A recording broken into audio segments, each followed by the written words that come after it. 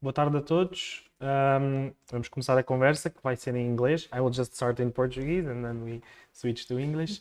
Uh, se houver alguém que não está confortável com o inglês, que avise e eu tento ir uh, fazendo assim uns resumos e, e traduções. Nós vamos estar a gravar também um, e depois vamos colocar a conversa no, no, no YouTube do Livre. So, first of all, thank you very much for uh, joining us and for, for accepting. Um, you are an author, an activist, uh, an entrepreneur. I'm going to follow here my, my, my notes. And you are also the founder and CEO of Democracy Next, which is a research and action institute that works to shift political and uh, legislative power to everyday people, empowering uh, citizens' assemblies. Um, and you, from, from what I, I saw and from what I researched, you do fascinating work and you are were also involved in the creation of Paris Citizens Assembly, the Citizens Council of uh, the German-speaking community in Belgium, and the Permanent Citizen, Citizens Assembly for Climate in Brussels. You also have uh, uh, other experience uh, mentoring social design masters in the Design Academy in Eindhoven and many other things. First of all, I would like to ask you how you got interested in designing these democratic processes and democratic innovation. So if you could speak a bit about your background and how you got here. yeah, no, I think that's a that's a good starting point. So first of all, thank you for for hosting this event this evening, and thank you all for for coming here. So um, as uh, Paolo was saying, my name is Claudia, and um, I guess the before jumping into what I'm doing today, how I how I got into doing work around citizens assemblies, thinking about a next democratic paradigm, started about 12, 13 years ago, initially through research that I was doing around populism and trying to understand the extent to which people's disillusionment with politics, with the system, with feeling like they didn't have agency or voice to be truly shaping decisions that were affecting their lives, their communities, was driving people towards populist parties and movements. And um, it's, I mean, it's a complex phenomenon, so I'm not saying that's the only thing that's part of it, but from my research, I became really convinced that this was a big part of of, of the story. And if we recognize that's the case, then it's not going to be just different or better top down policies on the economy or immigration or anything that truly gets to people feeling like they have more agency and voice in, in shaping the decisions affecting them. So um, that was the, the initial entry point into my interest into what's kind of called democratic innovation a bit more broadly. So thinking about the new ways that our, our institutions can be evolving to give people a more direct and meaningful say in shaping decisions. And um, from a really broad exploration of different ways to do that, when I first came across citizens assemblies, there was a bit of this light bulb moment of like, oh, this feels like something really different that's not just trying to treat some of the symptoms of these really deep problems, but actually getting to those hot, deeper roots of them as well. Um, and so that has now been the focus of, of what I've been doing for about a decade or so. Um, and yeah, maybe I'll leave it there as an introduction, and I'm sure you have some questions that come off of that. Okay. So, so, this isn't too much of a monologue.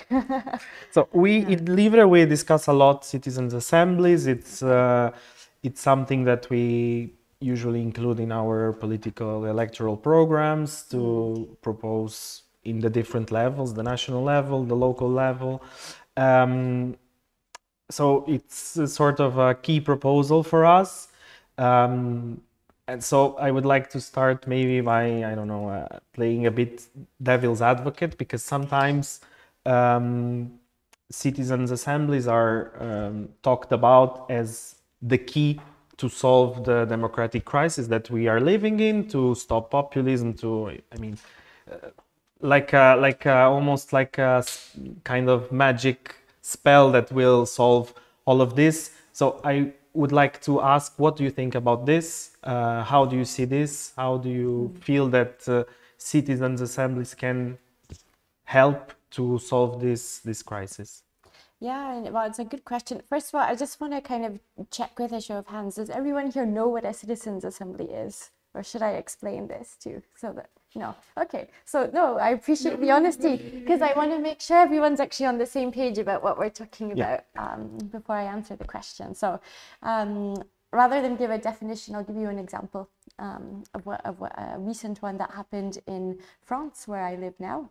Um, so just this past December, the, the French government convened the French Citizens Assembly on end of life issues about whether the existing legislation around end of life to do with euthanasia, assisted dying, and the wider remit of issues around that should change and how. Um, and to be able to to, to answer such a question, they convened 184 people that were selected by lottery to be broadly representative of French society. Uh, they met for 27 days of deliberation over the course of four months, and they heard from around 60 experts, but experts in a broader sense, so not just kind of doctors and nurses and people studying these issues, but also um, also faith leaders, philosophers, people with lifelong illnesses. Uh, and then they deliberated with one another, meaning that they weighed up all of this information they received, they listened to one another, and they worked to develop 67 really detailed recommendations for the French government about how this legislation should change and why. Um, and they quite remarkably, I think, achieved 92% consensus amongst themselves behind these 67 recommendations that they delivered to President Macron at the beginning of April. And now this will form um, the basis of the parliamentary debate about how this will, will change and, and the legislation should change by the end of summer is the timeline. Um, so the key kind of defining characteristics of a citizens assembly are that people are selected by lottery, that there's the time and the kind of conditions for people to be able to deliberate and grapple with the complexity of issues that are being faced. Um, hello. and then um, and then there's the work to, to find common ground on the shared proposals, usually trying to get at least a 70 to 80% threshold of agreement amongst the group. So it's not just voting and aggregating preferences, it's really doing that hard work to get to, to a form of consensus um, around the, the final recommendation as the kind of defining feature. So this is what I mean by, by citizens assembly here in, in this context of, of the conversation. Um, and I guess to, to maybe re, um, I don't know, reiterate your question for the sake of people who have have just arrived as well. The question was was about whether these citizens' assemblies, um, you know, sometimes they're kind of talked about as though this will save democracy, and and you know that's kind of all we need now. And and um, and what do I think about this? I mean, short version of the question, a slightly longer question. Um, well, there's a few few aspects to that from my perspective. One is I don't think it's some sort of magic bullet solution. I think there are many things that need to, to change and evolve. But I, I really do see citizens' assemblies though as a core element of what I think needs to change when we're thinking about the democratic crisis that we're in, in a context where there's a lack of trust, not just of people in government and in institutions, but I think there's a deep crisis of trust in the other direction as well. Um, and there needs to be a, a, a rebuilding of that through demonstrating trust in people. Um, I think we need to be creating the conditions that bring together diverse groups of people over extended periods of time together if we want to do something about about polarization. Um, and I think that there's a general sense of stuckness on many different really pressing political issues that have to do with a lot of the systemic nature of how an electoral system with political parties and so on functions with three, four, five year electoral cycles, depending on where you are. Um, the, the, logic of campaigning and party politics and someone needing to win and someone being right or wrong. Um, it's a very different, different way of doing politics than coming together and really doing that work to be like, okay, how do we get to that 80% level of consensus amongst us around this? Um, and personally, I think we need more of that. And I think we don't just need more citizens' assemblies. I think we really need to be um, making these citizens' assemblies permanent with a legal basis integrated into this wider democratic system. So I'm not saying we should, you know, replace the parliament and get rid of politicians and get rid of the system, but I am saying I think that the overall system needs to evolve and citizens assemblies need to be a genuine part of it. And for me, the long-term mm-hmm. vision is not just a part of it with advisory power, but actual decision making authority eventually as well. Um, so that raises lots of Hmm. questions, I'm, I'm sure, but um, yeah. It's also a problem with politicians. So it's not just that citizens uh, are suspicious of politicians in general, which they are, and that politicians are also suspicious of people, which they also are. It's the broader problem of how at least for me, how our political system is going, that parliaments are supposed to be citizens' assemblies. The parliaments should be a citizens' assembly. It should represent the people in the different types of people that live anywhere. But the truth is, and I've seen this, I was a, a local municipal deputy in, in Lisbon, and I think this happens in every level. When you are discussing things technical issues or in a closed let's say a closed commission meeting or something like this usually everyone agrees. Left right uh, conservative liberals. It's it's easy to say okay no yes we should uh, do this. It's good that we, that we do this. But then there is always this pressure that someone needs to be right someone needs to be wrong that consensus is not valuable that someone needs to win someone needs to lose and that you need to differentiate yourself always from the enemy. So Yeah. i think it's also a, a, a symptom let's say and uh, and um, and the reasons why the the our our democratic system is evolving in this way that the politicians cannot get to a consensus. So so there is the need to find it elsewhere let's say and uh, from the experiences that there have been put in place sometimes it's i mean it proves that it's not so hard to have a broader consensus about things that need to be done I see everyone better. There's a lot more people yeah than we than we thought. and no, no, it's fine. we had arranged things in a circle because we thought it would be more intimate, but now. um, yeah, but I think actually I really appreciate you making that point because I don't want what I'm saying in any way to come across as though it's like politician bashing or, or demonizing elected officials because I think a lot of people go into politics because they want to make a positive change in their communities and you know this is the means that we have in the system and and these are really systemic problems which you elucidate with the fact that you know often actually people agree but then you know outwardly there's a need to have some form of conflict or some forms of disagreement and th- this stems from from how the system is incentivized to function and why i think we need to be recognizing that systemic issue and trying to think about systemic solutions that can get us out to to do things differently. Um, because i also i slightly disagree with the characterization though of our parliaments as citizens assemblies though.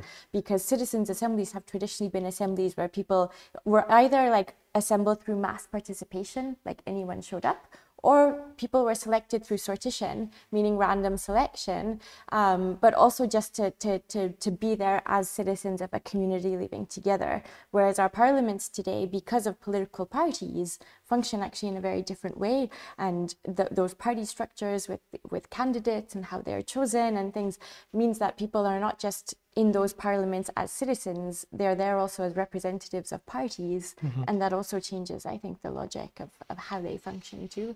yeah yeah yeah what i meant is it's not that they are it's that mm. in theory mm. it, it should work like this it should represent the people so it should represent the will of the people mm. but of course how it's been working for I mean, some Yeah. decades now it makes it that the incentive is not sometimes to solve problems. Hmm. It usually it's not. It's to find distinctions and to win the next election. Hmm. So it creates this uh, uh, uh, no, there is a lack of incentives to to have this consensus to everyone hmm. sits at the table and but finds a solution. though. Like in in in in terms of in theory actually like a lot of the kind of architects of the systems that we have today of parliaments with political parties were really critical of the more consensus seeking forms of assemblies that existed beforehand and thought that there should be much more social contestation through parties and like maybe reinforcing where we disagree on some things as well. And so it was actually an intentional choice to try and get to a system that was a little bit more conflictual um, in nature. So.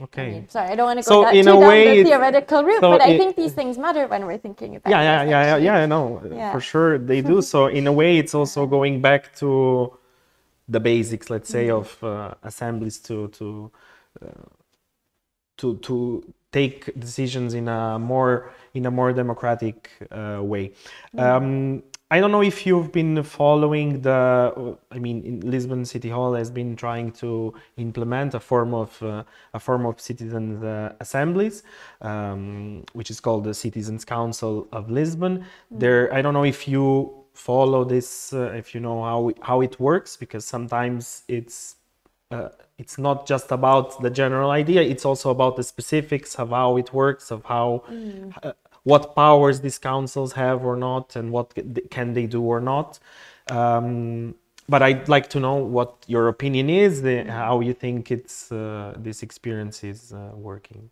Yeah, well, actually, I was uh, in conversation with some of the people within the mayor's office who were initially involved with actually setting up that assembly a long while back and, and talking about how it would work and some of the design reflections. And, um, but then I was not like intimately involved in any decisions that were taken after that conversation had with them or other things. And I think one of the main like I think crucial points actually in the design of all these assemblies where there was a disagreement and I think a learning that now something is going to change with the second one if I understood correctly was how do you do the random selection and I think what happened with this first version of the citizens council here was that there was a call for volunteers to put mm-hmm. themselves forth and then there was a draw amongst the volunteers. Mm-hmm. And i think that introduces a big problem actually of, of bias of who's volunteering to put themselves forward in the first place and to me kind of contradicts actually one of the core like more values based principles behind citizens assemblies and deliberative democracy that everybody should actually have an equal chance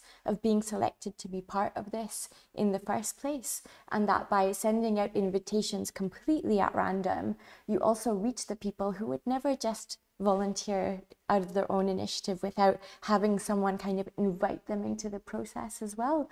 Um, because it reaches people who don't necessarily vote who aren't involved in politics who you know probably would not show up to a meeting like this. And and so I think we need to find the ways to actually invite them into into these assemblies as well. And then amongst everyone who says yes, then there's a second lottery, and then broadly, um, I mean, the technical term is stratifying, but basically controlling for that final group to be broadly representative um, of the community. So I think this was one of the main learnings about you know some slight bias i think about who was part of that assembly. But then i think beyond that one of the things i'm interested in discussing is i also don't think there was enough time for the complexity of the issues that were deliberated on. So i gave the example uh, of a national level legislative issue just earlier so for those who didn't who came a little bit late i was saying how france's citizens assembly on end of life um, met for 27 days of deliberation over the course of four months. Um, on a local level, and depending on what the issue is, you probably don't need that much time for every issue.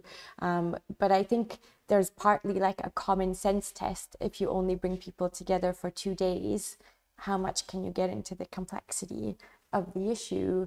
And how much space do you really have to do that hard work of being like, okay, how do we get to the common ground and what do we do about this? Um, so, so yeah. But I, I'm curious actually to hear from you, and I don't know if others here were involved or have had views on this, so it's also a bit more of a of a conversation. yeah So, yeah i would say if anyone wants to ask a question or a comment or to say anything just uh, show hands and i will because we really want And- this to and, be a, yeah, a, and a I just want to say I really mm-hmm. respect as well because there was like a formal evaluation done of that assembly, and a lot of the things that I'm mm-hmm. mentioning were also, you know, recognized in that evaluation, and there's a reflection about how do you use those learnings. So I think that's a very good approach to this too. That, mm-hmm. you know, yeah there was this there was this basic Yeah. problem let's say which is quite common. I mean, in every uh, participation process that you have, if you just make an open call, usually the same type of, of people show up. So you have always a bias there. Uh, this should be helpful to get people that don't vote from poorer neighborhoods, maybe that they are immigrants, they don't speak the language, so they don't you know don't maybe can read the the the the, the publicity outside. Um, so it's really uh, it should be i mean this is one of the uh, of the of the mistakes let's say that we pointed out. It should go beyond the usual people that uh, get involved in this in this kind of uh, in this kind of processes in this kind of par- participation.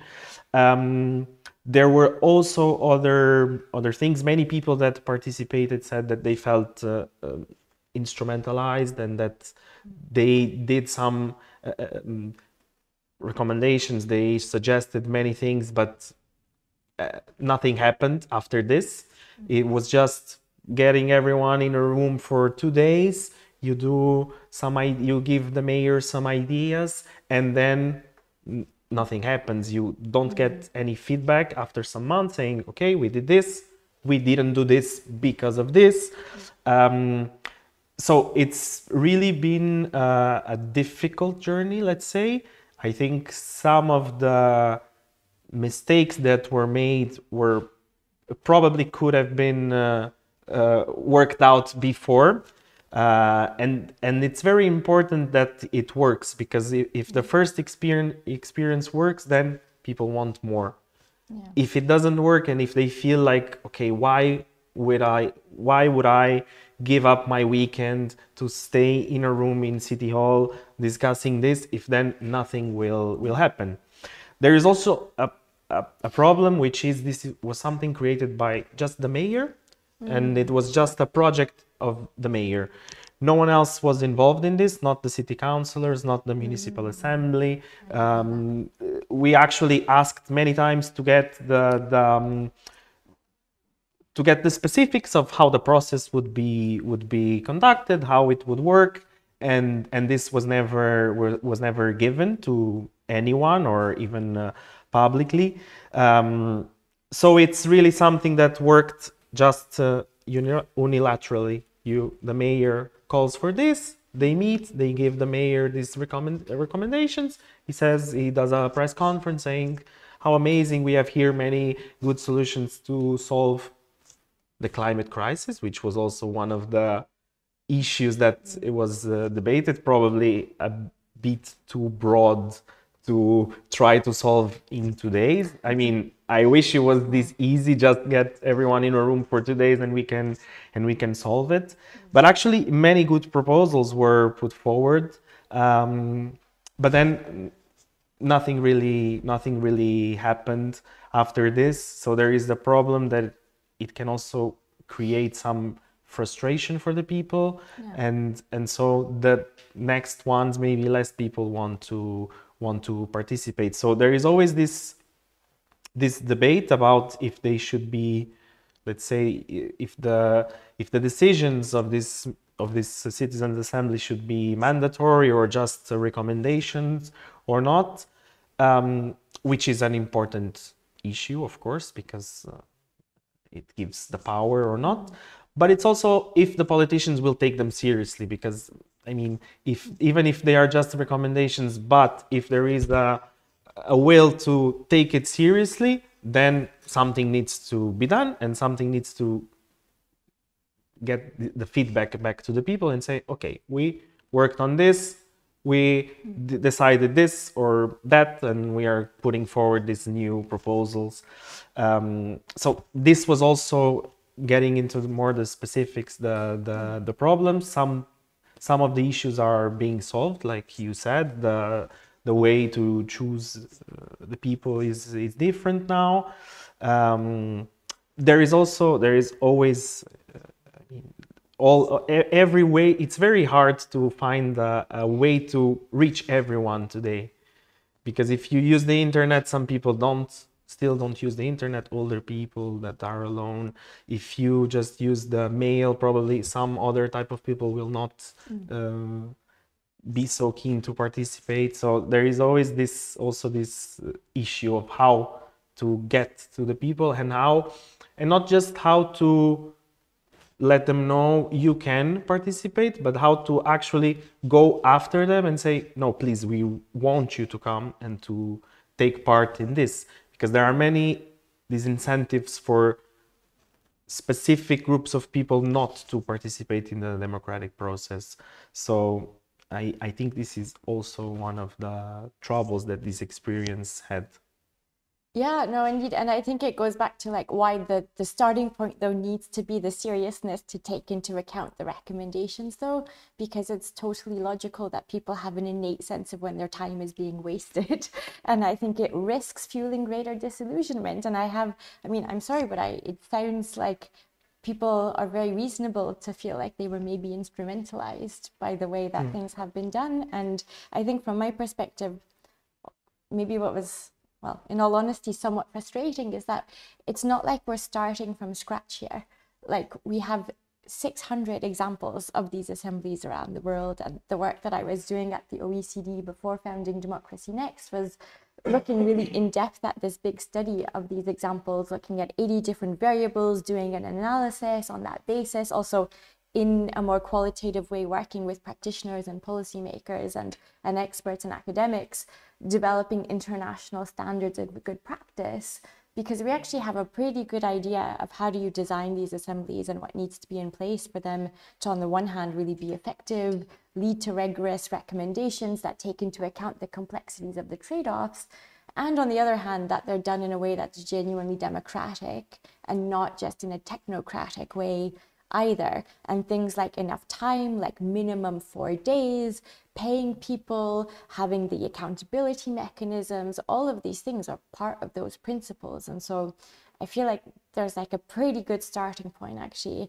of how do you do this well um, and how do you ensure that people's time is respected you know in the example i gave in, in france one of the questions i get a lot is like oh but you know that's a lot of time there's only one person who dropped out of the whole process because mm. they changed jobs partway through and it was just impossible to, to keep going. Everyone else came to every meeting. So maybe they missed one out of everything. So it really shows you that actually, if people have a sense that this is taken seriously, this is important, they are more than willing to actually give that time. And if those barriers to participate by paying people, providing childcare, those sorts of things are also there, that also actually enables this to be to be democratic and invites those people in who who might not be able to or might not want to otherwise too. Mm-hmm. Um, and then I think just maybe final thing of going back to why I was really emphasizing why I think we need to move to actually having an institutionalized approach because if we look at the example, for instance, the first place in the world to set up a permanent citizens' assembly with people selected by lot that functions together with the parliament is in Ostbelgien, which is the German speaking community of Belgium. Has about 80,000 people. They have their own parliament with quite a lot of competencies. So the parliament has 25 people, and now there's a permanent citizens council with 24 people selected by lot for an 18 month mandate. Um, every six months, though, a third of those people rotates out and is replaced by new people. So there's always some mix of fresh perspectives and people who've been there longer, and they have an agenda setting role. So it's also up to the citizens to decide what should be the issue that goes on the table in the first place. So they decide what's the issue that goes to the citizens. And then those assemblies' recommendations, there's now a legal mandate that they have to go through a parliamentary committee. The parliament must have two debates and a vote on them. Mm. And so the, the more ongoing 18 month Citizens Council also plays an oversight role in making sure this actually happens, what's going on with the implementation of the recommendations. So, like, the, the, the, the MPs are there, the parliament is there, no one's replacing the parliament, but it's about the system kind of evolving in a way that actually gives these new institutions real weight, but connects them in so that there's actually a feedback loop and accountability mechanism, and and people can take this this seriously. But mm-hmm. also, they're they're you know the MPs are not required to accept every recommendation, but the requirement of this process means they have to at least really seriously weigh them. They have to provide a rationale. If no, why not? And I think all of that really matters too, and why I think we need to be thinking about this, not just about the one off ad hoc initiative dependent on political will. And I think actually the rest of the system should be involved, like not just the mayor's office, but working with the councillors and so on too. So, yeah. And about the issues that get um, debated, would you say, I mean, the, the example in France was a very specific one. Mm. This example in Belgium, it's, I mean, the the citizens themselves can choose what they want to what they want to to debate. There, I mean, there are also very different models of how how of how it can work. Mm. Would you would you say I mean, if it works better with more concrete issues or with broader problems, it's, I mean, it's quite hard today to d- discuss just something specific because everything is interconnected and you always have to touch different subjects to to to discuss it. But would you say it's a, it, it's a way of uh, of, uh, of uh, mobilizing the citizens to participate that works better for broad issues, climate change, or the democratic crisis itself, or any of the migratory crisis, all of these big crises that we are always hearing about, or does it work better for very specific issues? The the Yeah. Well, I would say somewhere in between, more but more specific though. Like if we take the Belgian example to stick with that, the sorts of issues that people have put forth have been things like, how do we improve the working conditions of healthcare workers? This was before COVID happened, actually. so smart citizens. um, how do we what do we do about the affordable housing crisis we have in the region? How do we improve our system for lifelong learning? Again, given this wider context, big picture, tra- like transitions with jobs, technology, etc. But very specifically, what do we do here in the region to help people with that? And the most recent one has been about how do we better integrate people of a migration background into our community. So as you can see, quite specific, but nonetheless actually touching on issues that are of like a bigger picture nature as mm-hmm. well. And I don't think it works if it's just about the climate crisis. You know, it has to actually be framed in a much more specific way because I mean that's related to basically everything today. so there, there there needs to be something that's tangible and can connected to the different policy areas too to do with with transport and energy and housing and and so on and recognizing the interconnected nature of these problems but nonetheless creating some parameters and boundaries of what you can actually really have some concrete deliberations on as well. So. A- and it's also important that it's something that i don't know you tell me if you think it is that people can tell it's very uh, related to their day-to-day lives. Because sometimes i mean the broader the issue the more let's say disconnected some people are uh, so if you talk about how to integrate people in the community how to uh, work something here maybe this is easier for people also to to relate to be interested in solving these problems than just okay let's solve all of this at once. Well, I mean, yes and no, because I would say something like, you know, end of life issues in France is not something people are probably grappling with every day. But at the end of the day, there is actually a bigger public debate about some of these things going on. And it's not like there's an obvious answer to it. If we think about, I mean, Ireland is a country that has now been doing these assemblies at the national level for over a decade. Um, touching also on constitutional questions from same sex marriage, abortion, blasphemy, and divorce. There have been four referendums that changed the constitution. There's going to be one related to gender equality later this year, um, one about biodiversity loss to introduce the protection of that into the constitution. Um, but they've also tackled issues to do with climate change. I don't remember the exact framing of the wording, but it really underpinned Ireland's Climate Act in 2021 that passed. There's multiple references to that assembly in the legislation itself, actually.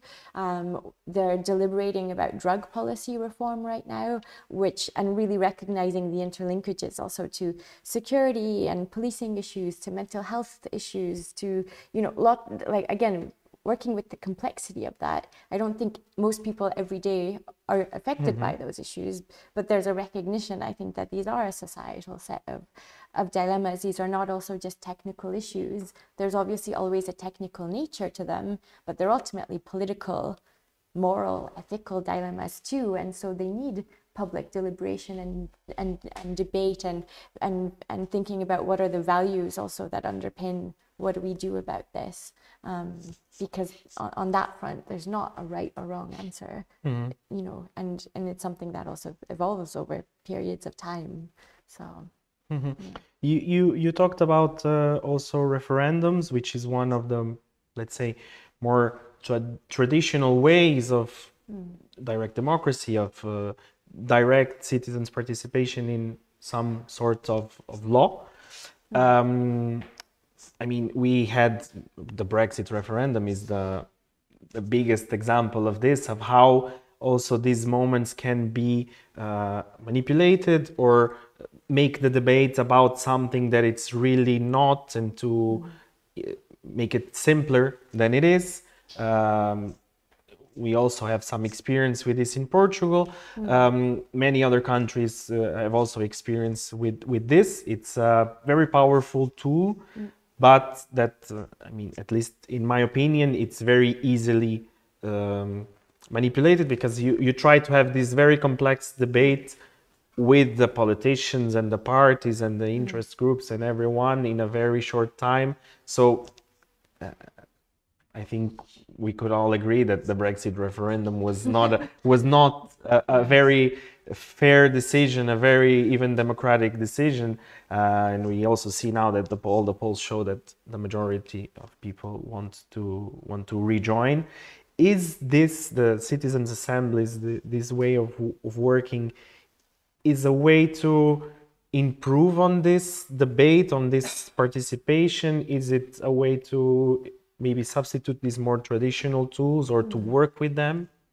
Yeah, I mean, I, I I feel like citizens' assemblies are almost like the exact opposite approach of, of a referendum hmm. in many ways. And I mean, having lived in the UK and voted in the Brexit referendum at the time, I, I shared the general thoughts about, about that. I do think sometimes you need them, especially, I mean, sometimes they're required, like in Ireland, you have to have a referendum to change the constitution.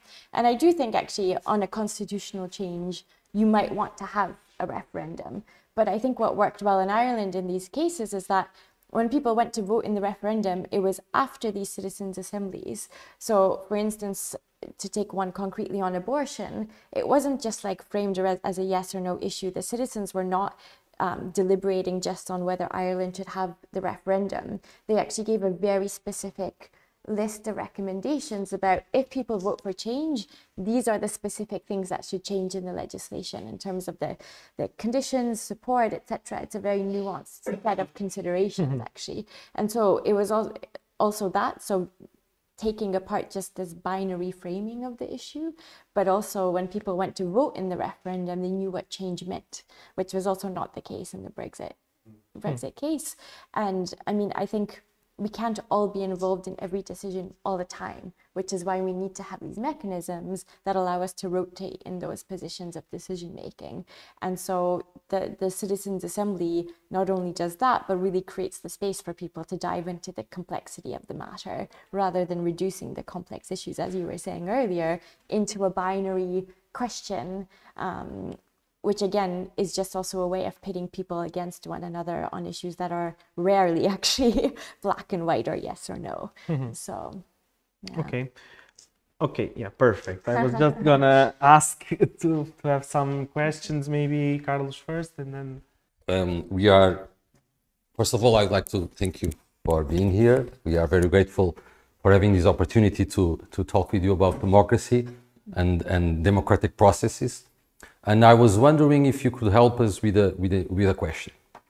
So, uh, in Portugal, one of the main complaints of our very recent NGOs, uh, environmental NGOs, we are a young democracy, and our NGOs are most of them, uh, the, the big majority, uh, have at the most 30 years of age, uh, some of them 40 years of age. Some of them were um, launched early on after the, the revolution, a, a few of them just, a, just about 10 years later. And we had more than 40 years of dictatorship. So these NGOs, what they usually tells us is that it's very difficult to mobilize citizens here in Portugal mm-hmm. for um, activities that usually are actually very participated in other countries. They have democracies of 50, 60, 70 years old democracies, 80 year old democracies. Um, and this is just to participate as, um, as um, uh, um, someone that will pay a subscription to uh, support the NGO in their activities.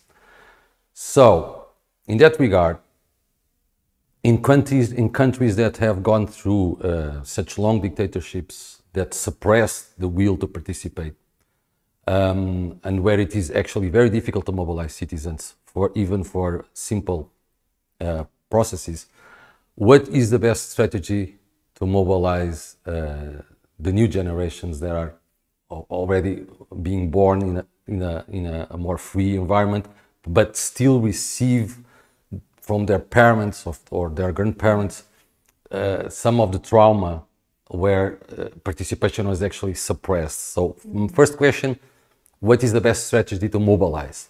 Mm. Second question is there a study that you recommend us where this correlation maybe has just has, has been explored between between older democracies and younger democracies and the effectiveness uh, or the the how easy it is to mobilize people for citizen assemblies. Mm. So thank you. Yeah, those, thank you for your for your questions. Those are two big questions. I have to say on the first one, I feel like I don't have all the answers to that. I think it's a very fair set of kind of observations. I think it's one of those things that probably will take time and there are things like i like i do think again it's not a magic bullet solution by any means but we also have the evidence of how when people are part of a citizens assembly because of the fact that it's also brought in people who are not traditionally active in politics or other things people become a lot more activated actually in civil society and are more likely to set up new NGOs and local associations to get a lot more involved in volunteering locally, maybe to get involved in traditional politics, to run for office. And so we do see that knock on effect. And of course, it's limited if you have one assembly with 50 people, that happens once. and that's where I think the vision is about how do we make this normal so that everyone's part of one of these at some point in their lives. And so I appreciate that's a question that, or that's an answer that necessitates a very long-term way of viewing it and it's surely not the only thing that needs to to happen but um, I'm a bit less of a of an expert or of what what are the other things that are happening in in that, in that space um, on the second question about the kind of correlation about people's levels of participation in citizens assemblies in these contexts like here and and I guess other other countries that had had more recent dictatorships and more recent transitions to the kind of systems we call democracies today. Um, I actually don't know in terms of the data about that. Um, in the OECD study I mentioned, we did collect data about response rates and things like this, um, but I've never thought to actually look into the correlations amongst those things. So I'm going to note it down and actually mm. look into it because it's a it's a curiosity. I mean, a reasonable hypothesis might be that it might be a bit harder from that contextual perspective, but I don't actually. I, that's not based in any data, so I don't I don't know the answer to that, but yeah. So it's a good question. yeah. Hi. Uh, thank you for being here. I have a lot of dilemma questions and I don't know, uh, but I, I want to uh, to question how can we avoid the the of our politicians where when we we we put the decision their decisions their votes on the citizens uh, level with the citizens assembly for instance. Um, how can how can I say a, a better way? Um, how can we avoid the sim- to put in simple uh, words, like Paul said, the complex problems that we had to solve. Um, for instance, we, we can make the questions, uh, the question, where will we build the next Lisbon airport? It's a very specific question, but the problem is so complex in so in so many aspe- aspects. Uh, how can we, in four days, three months, one year, put uh, a very a broad um, sample of citizens with higher education, lower education, low, higher uh, income, all a, a representative one, to discuss um, uh, so so complex, uh, too much complex uh, uh, problem, uh, and with that, and uh, if you think that this uh, citizen assembly will uh, always be about the uh, little specific problem like uh, uh, the sidewalk in uh, an, an avenue or uh, how can we improve our street in our neighborhood um, and yeah i don't know i, I don't know thank you Yeah, yeah, yeah. I think I, I see where you're coming from. I mean, first of all, I don't think there's been any citizens' assemblies on issues like how do we improve the sidewalk on the street. Like they, they've always actually been of these bigger, more complex nature of, of the, the issues, precisely to create the space to grapple with the complexity. And actually, the um, the airport example you mentioned to have it as a tangible thing is quite a good one because there have been a few deliberative processes around these sorts of questions in other places. Like one of the most recent ones that comes to mind is in Toronto. I forget what was the exact framing of, of the issue and so on, but also these sorts of, uh, and, and there's actually many examples to do with infrastructure related issues because they're precisely complex they intersect with lots of issues, but also people really feel the impacts of that in their daily lives, in their communities. And I think there's a question of, you know, they should probably have some informed say in shaping that decision that impacts on them directly too. Um, and in, in many places, there's a, uh, often a sense of stuckness on taking any form of decision on those issues. So actually, my first book that I opened up. Let me just back- say, we yeah. have been debating the new airport for more than 50 years, so Right. it Okay. really proves this All right. point. So okay. So there we go. So so more than fifty years. I wonder how much money has been spent on different consultations, on different reports, on, you know, and so it really makes me wonder, like, if there was a citizens' assembly for six months or however long around this, could it actually unblock um, the, the the stuckness on this and have some form of decision taken on it too? Um, I mean, kind of, I guess, linked up to the initial point of the question, though, does this then de-responsibilize the politicians? Though, I guess it looks at what you, how you look at that that issue. I feel like we we also put way too much pressure on politicians to have to decide everything and always and it's also part of why none of them are willing in these mm-hmm. complex moments to actually take the hard decisions because they don't want to have the responsibility so nothing happens. And so how do we how do we help shift what is the role of the politician in another democratic paradigm too?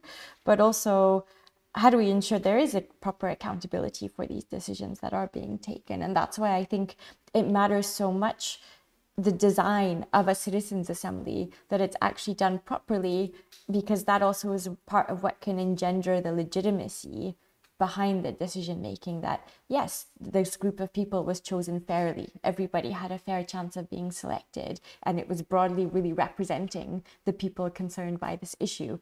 Yes they heard from a really wide diversity of the relevant stakeholders and experts and people from the community. Yes they had the time to then really work with one another to find consensus. So all these things i think add up to to a process that people can actually have more faith in, um, which is part of why I think we we need that.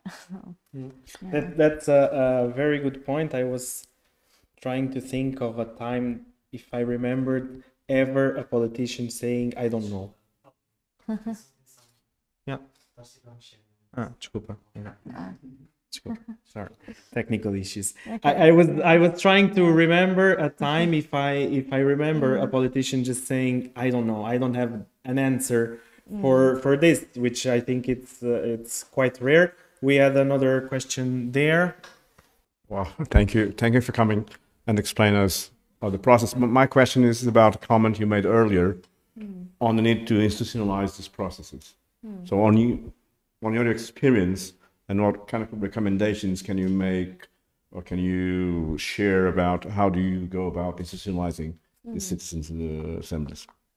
Yeah, it's a it's a good question because it it involves actually a lot of time and effort initially to actually work across the different stakeholders. So in the, in all the processes I've been involved to work on institutionalization, there's always been that effort made to make sure this is not just an initiative of the mayor or the leader or just one party that's in government. So in Ostbelgien, actually it was both the leader of the government and the leader of the parliament from two different center-right parties that came together and launched the initial conversation about this. But then we met with every single MP every party, and that parliament voted unanimously to put in place this this um, institutionalized assembly. So even though there's been elections, new government in between, it's not in question actually the existence of this. And I think that's a really crucial step that I think sometimes people don't immediately recognize. And we've always made that effort in all the things that I've been involved in to really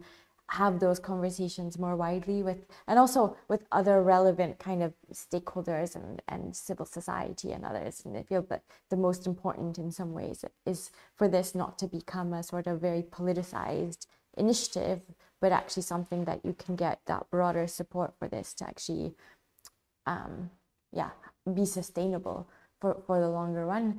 And so so that's a first step in a way. And once there's the buy-in that yes, let's do something, then there's a work of really understanding deeply what is the current institutional political context here. Um, so what's actually, how do we make sure this actually connects into this ecosystem? So I gave a bit of the high level um, examples of it connects into the, the parliament, the parliamentary committee system. When we worked in Paris, there's also additional existing institutions like um, there's a council of Europeans living in Paris, there's a council of young people and stuff. So the system in Paris is also slightly more complex because we made sure that these new institutions actually also are working together in some way and that this is plugging into this wider system. So that's always like the next set of considerations to first really mm-hmm. understand and get a sense from the different you know stakeholders in the within the system. So the mayor the councillors the administration are usually people we've spoken to to get an understanding of who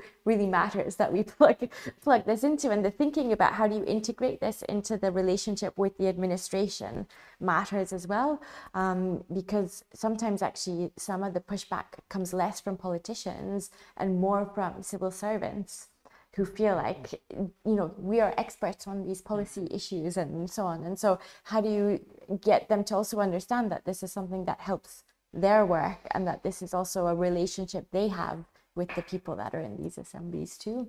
Um, and then there's like a next step wh- where we do some work with like lawyers and other things to actually create a legal kind of basis and help draft um, kind of how this can work. And that then usually goes back and forth with a bit of a political debate and conversation. So, you know, in Ostbelgien, we had a first draft of how this could and should work theoretically based on a lot of good practice.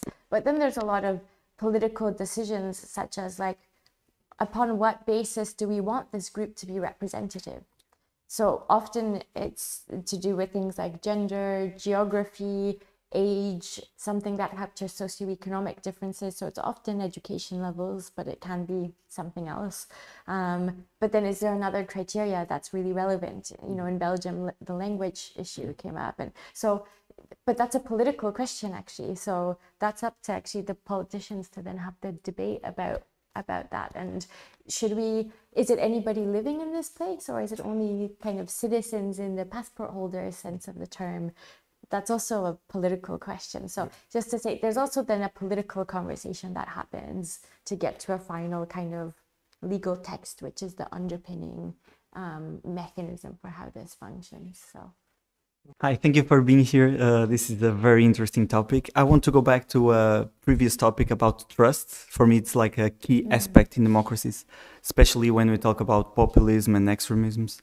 Um, and you told us that actually these citizen assemblies increase trust among the people uh, present there.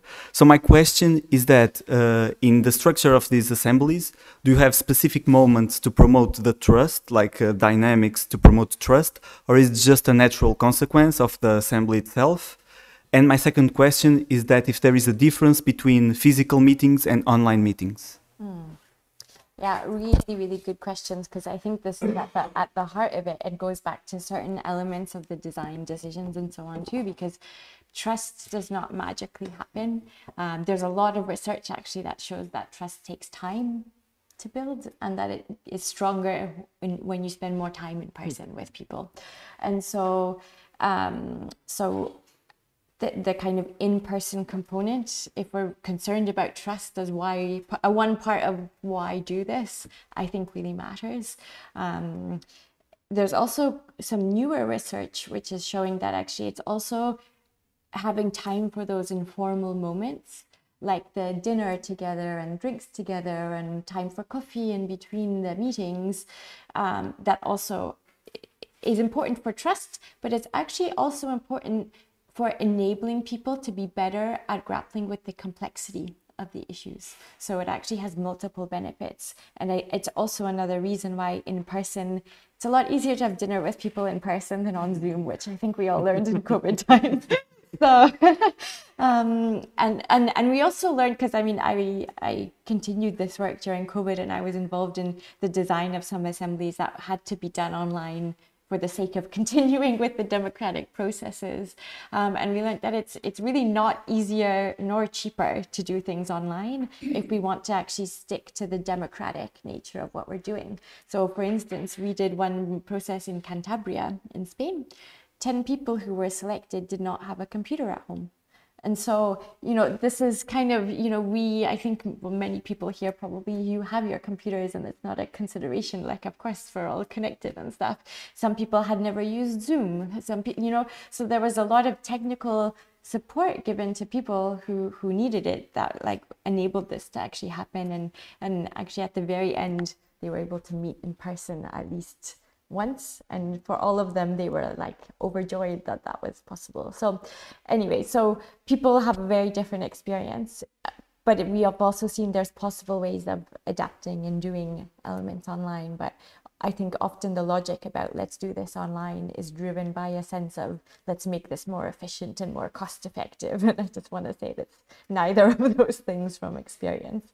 Um, if we care about the democratic aspect which again i think there's a big risk and some people approach this work in a much more technocratic perspective um, which you could easily i think veer into. And for me it's always been really important to keep that aspect. But but yeah so uh, yeah. We and, and and it's also why we need time and why i feel like also for the trust element like even two days is not very much time. Um and especially it depends on on how maybe controversial an issue is. But you know one of the stories that has always really stuck as very powerful for me was during the irish citizens assembly on same-sex marriage.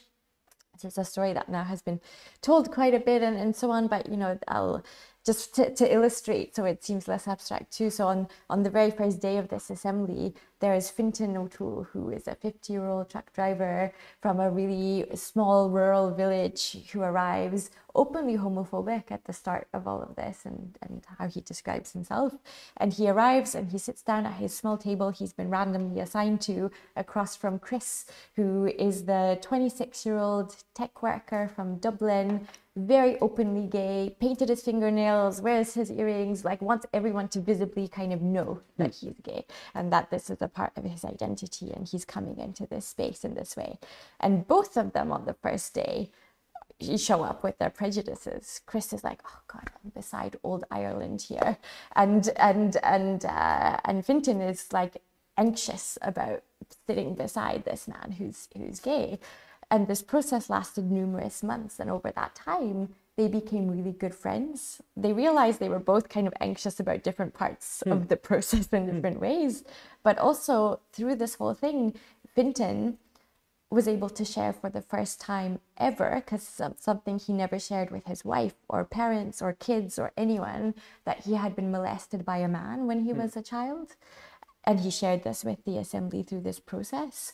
And and shared it in a way that he wanted people to understand that actually he realized that pedophilia and homo and like being um, uh, being gay are not the same thing which for him given his experience were always kind of intertwined. And and also realize and recognize how for chris it wasn't even just about the right to marry but about his whole place in irish society um, and being recognized as an equal fellow citizen and everyone. Um, so, anyways, there's more details to that story, but I'll leave it there just to say I don't think that could have emerged with a shorter process. Yeah, you that, know? that's quite fascinating. Actually, one of the things I was thinking about asking, and I, I will pass you after, it was if there was a if there was a, a, a limit, something that could should not, let's say, be discussed by this. And usually, minority rights are one of the things that we say. I mean, there can be a ninety percent consensus that that gay people should not exist in a society. This doesn't mean that they that this should happen. No, so there is an issue of human rights also. Like, is there a boundary that this citizens' assemblies or any kind of, uh, let's say, this participation process sh- should not cross? This was my question. Uh, you know, because usually in Portugal, at least, there is always, and in many other countries, if you're discussing this uh, same-sex marriage, adoption, all of this, there is always someone that say no, we should have a referendum, and there is always someone that says, yeah, but this kind of right should not be subjected to a referendum. It's not something you should, you know, like you should not put this up for a debate, even though we know you need to you need to debate them.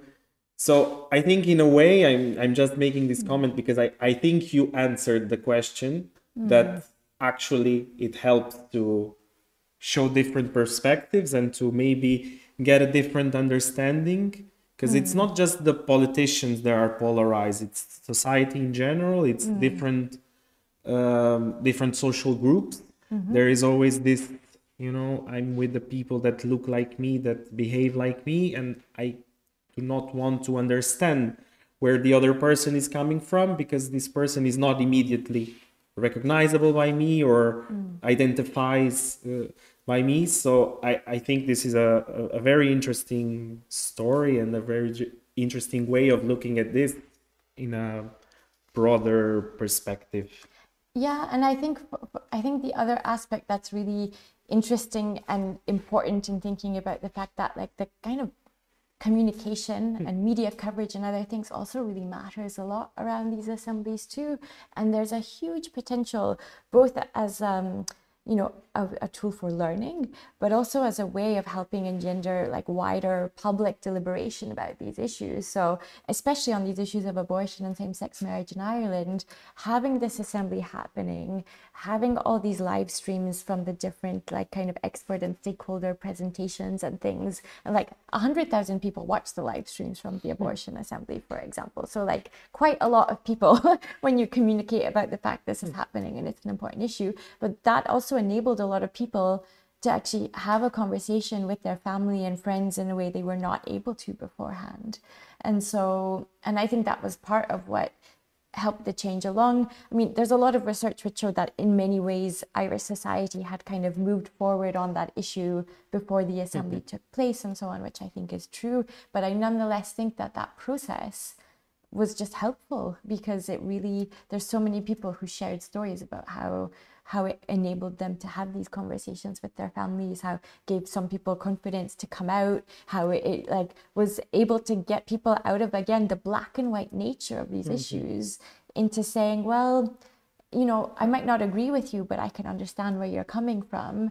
And getting people to see that on same sex marriage is not just about the, the right to marry, but it's also about these people's place in society, I think was also a big transformational shift for a lot of hmm. people that, again, because of the way these debates get framed, I think we need public deliberation on things like even minority rights and other stuff because these are political questions as well. And I mean, I have my views on what we have to have enshrined, but I think I think we will only get to a place where there's wider public legitimacy around the decisions behind them if we give the mm-hmm. space actually to for those conversations to happen. Mm-hmm. So Okay. And it's a and it's a signal of trust in people to be able to do that. Yeah, yeah. Of course, it's uh, it shows that you can Yeah. treat treat them as adults and that they can get to good decisions uh, on their own. So there was another question there. Uh, hello, and uh, thank you for coming here in, uh, in Lisbon. Um, so my question was about the socialization during the process. Um, I actually have two questions. So during a deliberative process, um, people uh, have to work together. They will have to design all, I mean, the governance around this process that may last for two, three years. But the the issue of uh, this is like, um, how do we feel do we have people feel included um, when they arrive and like there will be someone i don't know someone who knows about holacracy coming in and say like i want to be facilitator here oh we don't know what it is. So you will be and it's already been like socializing. Suddenly like left-wing holacracy wins already in the beginning of the process. And it may change later but like i wonder how we can delete this this feeling oh i'm here and i don't know if my voice will be heard because i don't understand what happened. I don't know who is this guy speaking about. And the other question is like during the process there will be like companies lobbyists politicians all these people speaking having dinners as you said but like four people at a table and how does that that go off off the road um, does this actually hap- happen to be written somewhere after the, the debates, after the, the assemblies? How do we keep track? And do, do we want to? Uh, keep track of what exactly? Of what, of what has to be written? Um, about the, the part that has been socializing, but like outside, um, let's say we, we meet in this room uh, to, for have an assembly, hmm. but actually we have dinner after and we speak about the, the same subject. Great idea happened, then we come back, but we have been socializing that, like the four of us, let's say. Hmm. And then we come here and like there are 200 people. We ask someone to resume what we said, but who is the secretary? Who takes notes? How do we actually have people's voice listened to? Hmm. Yeah, th- yeah, those are those are all really good questions and aspects that are crucial to the to the design of these assemblies. So I didn't go into the details of this, but there's also always like a governing committee of some sort. So depending on what level of government complexity of the issue, it's slightly different. But the premise is that there there is a group of people who are kind of independent to the process and have some oversight, and who are the ones who together as a group also kind of choose um, the information and the experts and so on that people will, will hear from, have the invitations out to stakeholders, which include lobbyists and others that also have a voice. But lobbyists also include civil society organizations. It's like really in a broader in a broader sense. Um, and all of those submissions though are fully transparent and, and public. And part of what um, is also one of the good practice principles and which is a common practice is and again why time matters is that people have the right to request additional information um, before going on to a stage of needing to deliberate and having skilled facilitation is also crucial um, because as you rightly say not everyone comes into such a room feeling the same way feeling the same confidence about their own capacities. um, you know I would probably need to be quieted down a little bit because I do this all the time and you know there's people who are a bit quieter so you need someone who very skillfully is able to bring people in without putting them on the spot either. Um, and actually before these processes kind of officially kick off I mean I made reference to the fact that there's often like a dinner and stuff but actually also before you go into any like deliberation on abortion or whatever the issue is there's also a bit of a sort of induction in a way where people also decide together what are going to be the rules that govern their deliberation amongst themselves. So it's almost always the same things like, you know, we will respect each other and we will listen and, mm. you know, all of these things. But actually, it makes a difference to actually have that process in place. Um, people also talk about their values and what values are going to drive this deliberation. Um, they often have a kind of session around like bias, what it is, how to just be aware of it, um, kind of what's becoming more common too is acknowledging that we're all coming into the room in a context of just structural inequalities as well. And so just so people are kind of aware of this. Um, and also, um, and even like given a bit of like expertise about how do you question experts because also experts come in with a certain authority of their subject matter and how do you also like have the confidence and you know types of formulations for questions and stuff. So there's kind of like this whole thing that happens before people actually hear from any sort of experts and so on. And part of the, the learning phase is also often learning about you know how does the government work how are these like what's the institutional setup here? Like how are these decisions taken? What's the budgetary constraints and limits about this? So also people understand what are the parameters and boundaries around the possibilities too. So and it's part of what determines that at the end of it it's not some sort of wish list of things that are also impossible to do but people have also been deliberating in the context of like well, this is the, the budget as well and things like that too that are into, taken into account, which is also part of like going back to the trust issue. What helps engender trust in both directions because actually people also recognize how hard it is to take these decisions. And so like it's easy to bash the politicians, but then you realize, oh, actually this is really difficult to figure out what do we do about this. So anyways, I'm kind of going back and forth here, but these things are really related and it made me me think of that too. So. Hi, I'm Federico. I'm the guy who brought you here. I'm very glad that you made it.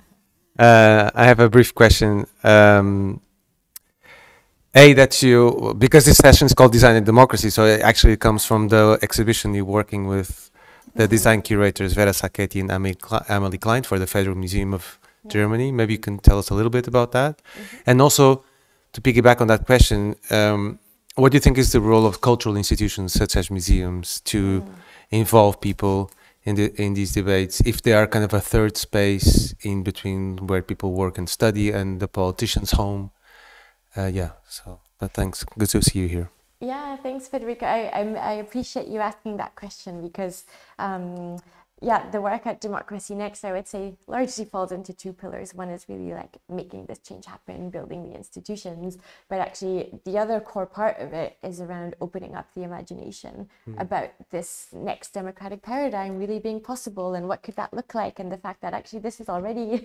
happening in many ways. And so part of that work, um, I mean, part of it is having conversations like this, but a big part of it is also with cultural institutions and also thinking about how do we democratize public institutions more broadly. So he, we've been talking a lot here about the context of the Lisbon City Council and maybe in Portugal and so on, but actually there's a lot of other types of publicly funded institutions that are taking decisions that are with public money and have an impact on communities that could be democratized. So one of the projects that we're working on in collaboration with um, with Vera Sacchetti and Amelie Klein, who are two designers, are um, citizens panels on democratizing the museum, working with the Federal uh, Museum of Art in Bonn and also the Regional Design Museum in, um, in Dresden, in Germany. Um, and in both of them, there's going to be citizens panels with people selected by lot that have a remit to be thinking about both the physical public space in and around these museums, but also the programming and other aspects that could actually make these into spaces that are for the wider community and not the, in the words of the museums, largely older, wealthy white ladies. so, and because there is a large amount of money going into these things. So, really quite interesting. Um, to be working with these institutions on actually applying the same principles of what we've been talking about, but we're also working with them curators on on an exhibition around redesigning democracy we don't have the official title yet, but the premise of it is redesigning democracy. Um, and so that will open next year in Bonn and the year after in Dresden. And actually, there's a few other institutions that are now interested also in working with us and collaborating with us on this. And those exhibitions will be attached to some public programming to help also engage local communities around these, these issues and have conversations around them. We're working with the London Design Biennale and also Vera and, um, and Amelie and also um, architect Markus Miessen who's done a lot of like very participatory approaches to, to different things um, to do a public installation in the courtyard of like this it's called somerset house in london. If anyone has been there it's like a really in central london a big public space that lots of people even if you're a tourist and you had no intention of going there you could come across and stumble upon. So also thinking about how do we also bring this maybe outside in different ways to, to places that people are going through and, and just finding more creative ways to try and tell these stories and, and perhaps also do some film work. There's also some documentary and, and other filmmakers who've approached us recently. So, because I think, I think we have a lot of conversations about like the democratic crisis and what's wrong with things and a lot of analysis on the problems. And for me personally, anyways, this work gives me hope and gives a concrete sense of how things could be different. And I think it really helps open up that imagination for a lot of people of like, we could be really doing things quite differently. And it is possible because we see it's already happening in many places. So, yeah. And, and I think actually, yeah, we, we should be engaging the cultural sector as well.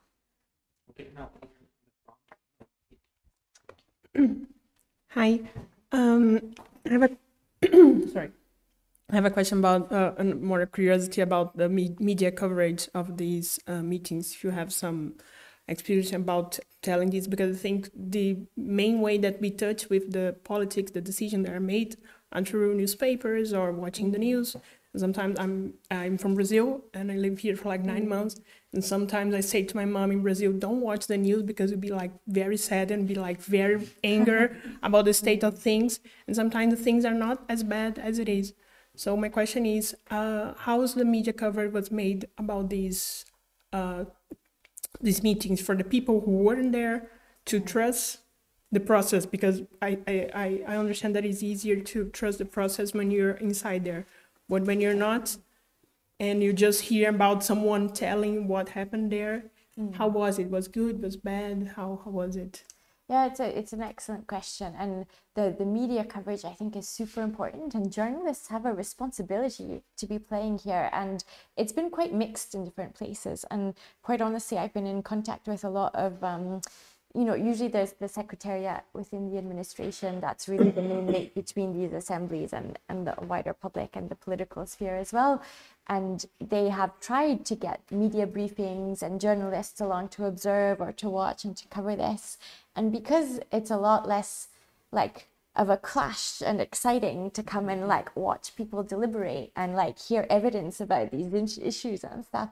A lot of journalists don't even want to go and cover this. And I think that's again, there's a responsibility there actually to be doing to be doing their work. It's been shifting in the places that I think have had the more high profile and, and maybe like the big issues like in Ireland there was a huge amount of coverage. But there was also you know media briefings organized by the secretariat with journalists at the start and end of every assembly weekend and all of this. In France, I have to say it's actually been quite good.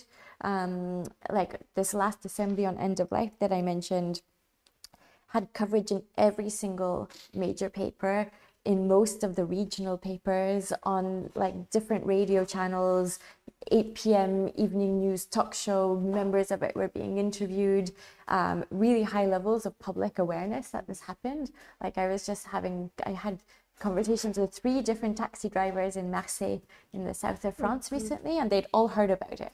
So it was some sort of test actually that this is penetrating beyond like the political geeks who are following these things, you know, it's self-described there as well. So, um, and, and so it shows that actually it's really possible actually to, to reach those higher levels of public awareness and understanding. And I think that's been linked to some of the shifts in public opinion as well, because um, in some of the most recent polling that's been done in, in France, Germany, Italy, and the UK has shown that around two thirds of people want these citizens assemblies recommendations to be binding um, and most people have heard about them and understand what they are which is which is a, a shift because i had done some of my own polling for my research back in 2014 and 2015 which found really low levels of awareness but also um, most people wanting them to be advisory.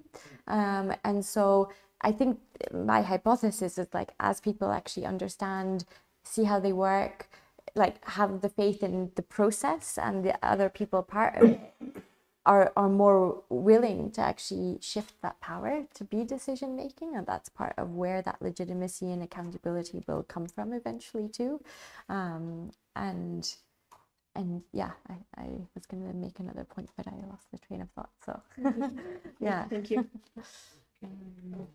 Thank you very much. I, no. Ah, yes. Tiny curiosity.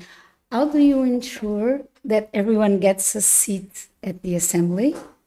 Uh, everyone, as in a sample of society, since nowadays we are more, we have a more broad um, uh, idea of what everyone at the table means. And does it, um, for instance, I was wondering if does the the composition of an assembly depends on the issue or it is always uh, uh, a mimetic uh, image of society Right, it's a good question, and I think, well, there's a few different layers to an- an- answering it in a way, because again, as I was alluding to earlier, it's a political question to decide upon which criteria are we deciding to make this. uh, ideally ideally yeah, but, uh, I, but even ideally, that's also a political question. My ideal is maybe different to your ideal, and your ideal, okay. and so on. So again, I think that's why there's also like a governance process to setting up these assemblies to decide how how do you do that. In some cases, like I think in Ireland on the constitutional questions, they had people who were passport holders of like Irish citizenship. And I think for other issues, it's been more open in terms of everyone living in Ireland, regardless of the citizenship status. So there's also kind of kind of maybe legal practical elements that come into how do you determine determine that and then i think beyond that to reach the inclusiveness criteria it also comes into things like the, the invitation letters perhaps going out in multiple languages, that people are paid, that childcare is provided. Like those are all the things that help break down those barriers to participating, that help make it more inclusive at the end of the day as well. Um, so there's a big kind of correlation between if those things are provided and who is saying yes to the invitation too. so ultimately it depends on the theme of the question right or not Yeah, it depends on the on the theme of, of the question to some. I mean, there's always like I think a minimum core that's in all these assemblies to do with like often gender, age, geography, and socioeconomic differences. But there's often a couple other criteria potentially depending on what's relevant. Dep- depending also, again, like in France, it's it, you're not allowed to collect any data about ethnicity, for example.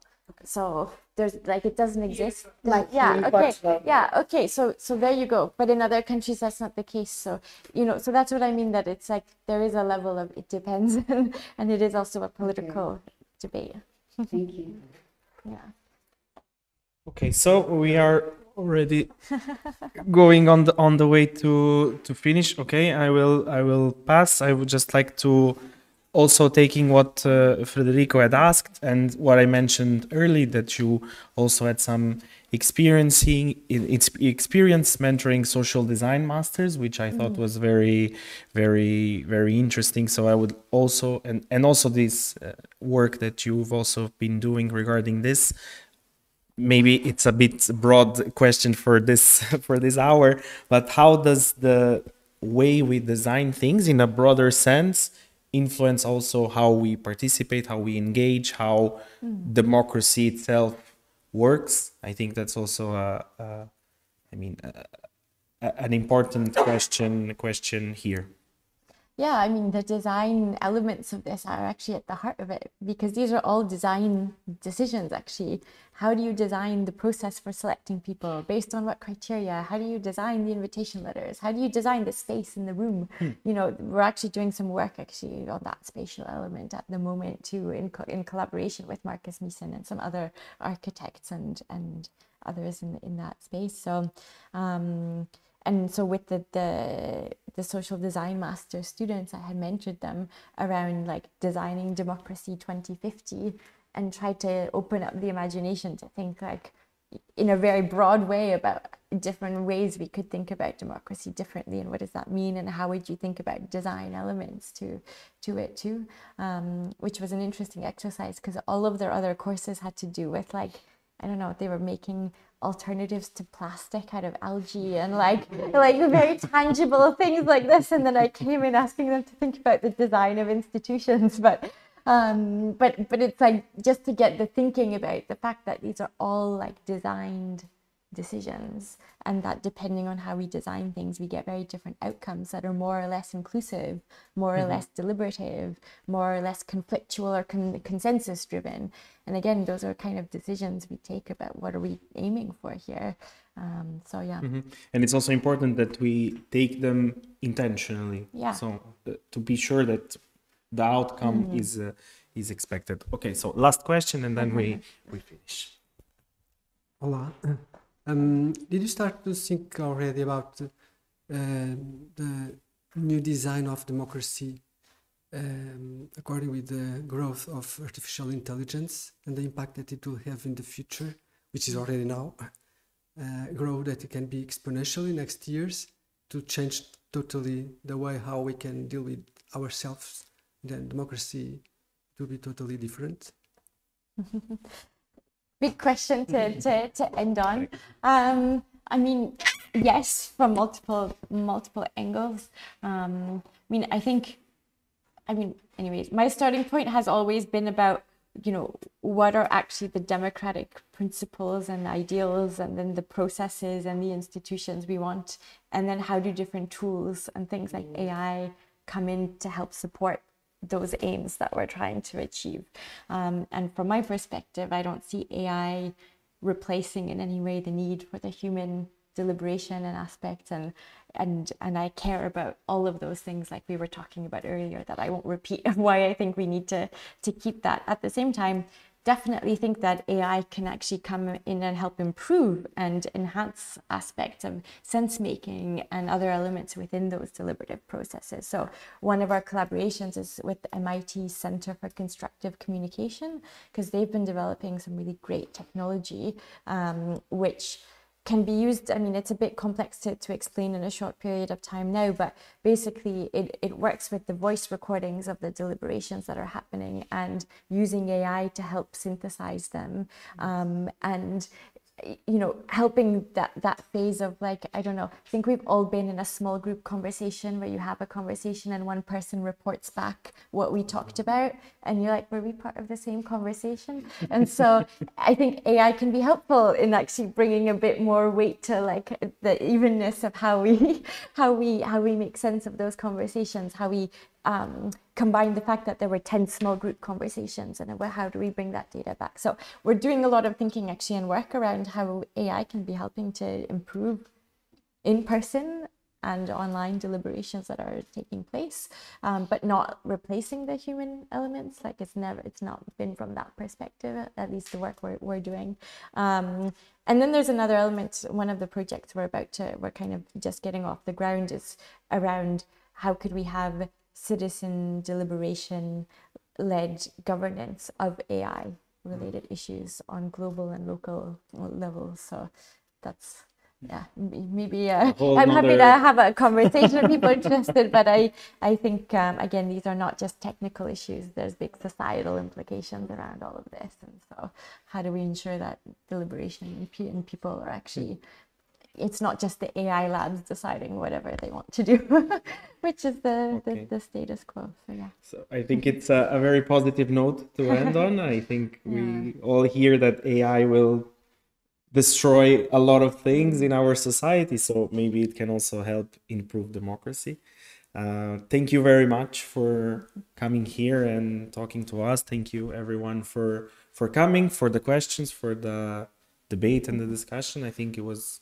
I mean, I'm biased, but I think it was very very interesting and it's uh, very important. Uh, and thank you very much for coming here and speaking with us. Well, yeah, thank you, Pablo. Thank you all for your really great questions and for taking the time to come tonight as well.